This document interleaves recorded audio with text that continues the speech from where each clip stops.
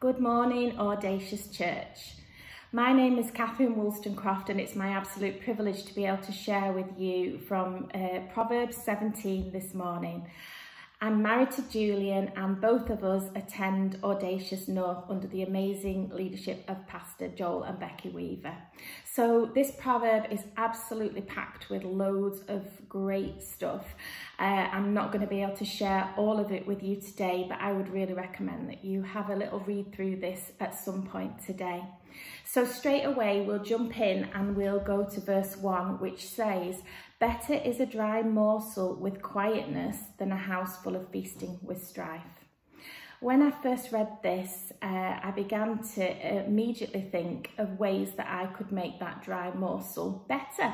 Perhaps I could add some balsamic vinegar with oil or dip it in some hummus and began to realise that I was actually missing the point. As a, family, we have three boys. They're now grown up, but oh, I can honestly tell you that when they were growing up, our house was hardly peaceful. We often would be really noisy, fights and squabbles, and sometimes I would find myself driving home from work, picturing a different house and thinking, which house could I drive into tonight and, and, and have my tea at where I'm going to find some peace. However, I learned that it, was down to me and it was down to Julian to change the atmosphere in, in the house. Sometimes if I would come home from work irritated or annoyed by the stress of the day, then I would be bringing my own strife and my own um, situation into this house. So I quickly learned that it was down to me to change the tone of the house. What could you do today that would change the tone of your house or where you work or who you bring who you meet in your day-to-day -day life? The next verse I want to share with you is from verse 3. Now this verse says, the refining pot is for silver and the furnace for gold, but the Lord tests the heart. Now I'm going to show my age now because when I read this, it took me back to my O level chemistry days and I remember learning about the refining process uh, and how the temperature needs to be at the right temperature to get away all the dross from that metal and to make it pure. And it sounds such a vigorous process but when I read this, I was just so grateful and so reminded of how our God wants to test our hearts. He wants to purify us. He doesn't want us to have to go through the fire, but he wants to do it in a loving and gentle way. And I'm so glad that I can trust my Saviour with my heart and uh, let him get the toxic stuff out of my life so that I can live as he would want me to live what do you need to think about this this day really? What do you need god to work on in you? Because there's no better place or no better person to take that issue to. So that was verse 3 the next verse that i'd like to share with you is verse 4 and in the message it says evil people relish malicious conversation. The ears of liars itch for dirty gossip Wow, what a verse. Well, this has helped me also because recently at work I found myself in quite a challenging situation where some of the conversations haven't been as good as what I would hope they would be. So I've had to try and make a stand and divert conversations and actually choose to not not listen to some conversations that I've been uh, have previously been involved with. We have a responsibility not only for the words that we say but for the words that we listen to. In lockdown 3 Julian and I have had the guilty pleasure of watching Selling Sunset. Uh, now this is um, program that's set in LA and it's about real estate agents and they actually sell houses up to the value of 70 million. And we obviously are watching it for the sunsets and the beautiful beaches and uh, the houses. But oh my goodness some of those conversations are actually so toxic and not nice at all to be part of. So have a think today.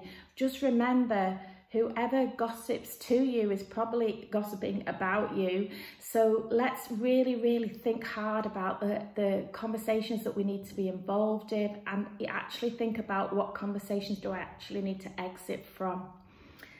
Uh, the next verse I'm going to share, it's all at the beginning of the proverb really, is verse 5 and it says, He who mocks the poor reproaches his maker. Wow. I really do not want to reproach God. I really do not want to disappoint my, my Saviour. And we are called to love the poor and we are called not to mock and to make a difference.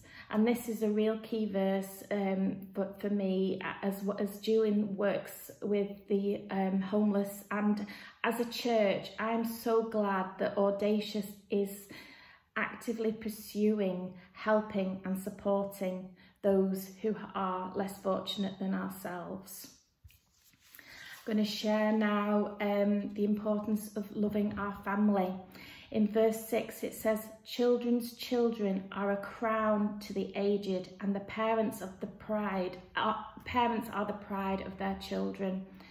This is a great verse and it shows just how generational our God is, how he has a plan for families, how he wants us to love and support each other and to champion each other.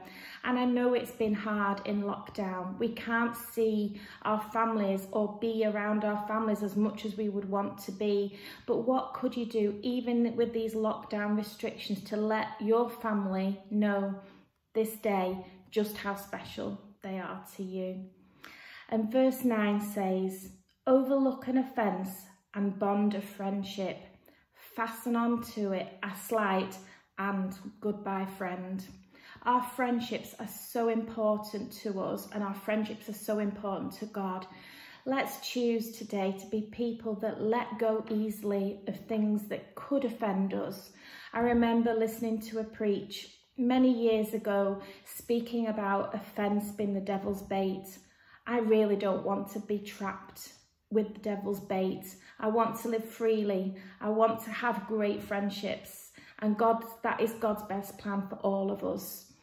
Who do you need to forgive today? What offence do you need to let go of? Because holding on to it is just not going to do you any good. And finally, a verse from the end of the chapter and it's a really common verse and I want to end with this. A cheerful dis disposition is good for your health. Gloom and doom leave you bone tired. Now that's verse 22. And dare I mention it, the COVID word. We are all COVID tired. We are all COVID weary and lockdowns are so hard. But we are called to be cheerful. We're called to bring good medicine to people that we meet. We're called to make a difference. So today, no matter what you're facing, no matter what situation you're going through, let's make that difference. Let us be audacious. Let us choose to be the people that God would want us to be. Can I just pray for you? God, I just thank you for your word. I thank you, Lord, that we have so much to learn just from these few verses, Lord God.